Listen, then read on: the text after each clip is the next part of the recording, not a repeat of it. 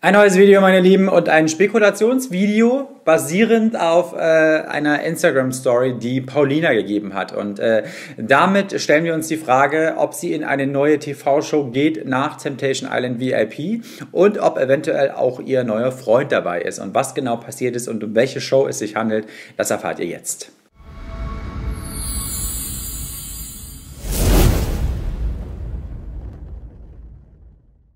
Ich freue mich, dass ihr wieder am Start seid. Ja, bin sehr gespannt, was ihr dazu zu sagen habt. Äh, denn äh, heute geht es um eine Spekulation. Und zwar, Paulina hat äh, vor wenigen Tagen gepostet, dass sie die nächsten vier Wochen ähm, offline sein wird. Sie, sie wird im Ausland sein und sie wird irgendwie nichts posten, was schon mal sehr untypisch ist. Ne? Also ich meine, wenn jetzt Paulina als Beispiel im Urlaub wäre, vier Wochen, was ich für sehr unrealistisch halte, dann... Ähm, ja, würde sie ja was posten. Ja? Und das gleiche hat Yassin gepostet. Yassin ähm, ist ja ganz offensichtlich mit Paulina zusammen und ähm, bei ihm geht es um den gleichen Zeitraum.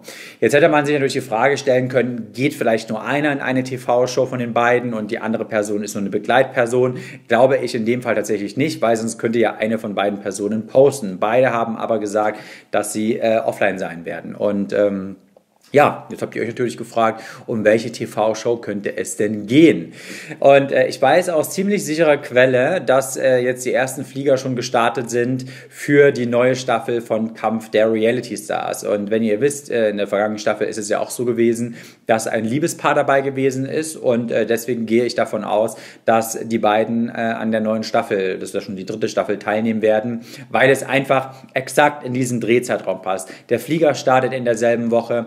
Es geht um vier Wochen, also man ist natürlich nicht fix vier Wochen dabei, das kommt ja mal drauf an, wie lange man kommt oder wie lange man halt dabei ist, ob man gleichzeitig einzieht, ob man ein bisschen verspätet einzieht. Und ähm, das stelle ich mir ehrlich gesagt sehr interessant vor. Ja, ich äh, frage mich natürlich, was man sich von dieser Konstellation erhofft. Und dann ist natürlich auch die Frage, ob vielleicht noch jemand anderes aus der Temptation Island VIP-Staffel dabei ist, wo man diese Geschichte so ein bisschen weiter erzählen könnte.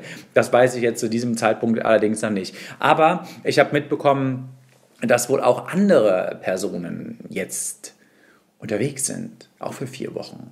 Angeblich äh, Melanie Müller, ich gehe auch mal davon aus, dass es, wenn, eigentlich nur Kampf der Reality Stars sein kann, weil ich nicht wüsste, welche Show gerade parallel gedreht wird, auch von diesem Zeitraum her. Und bei Melanie Müller ist es ja so, dass sie schon in fast jeder Show gewesen ist. Ich glaube, Ginger Costello hatte auch was gepostet, dass sie ähm, jetzt länger weg ist.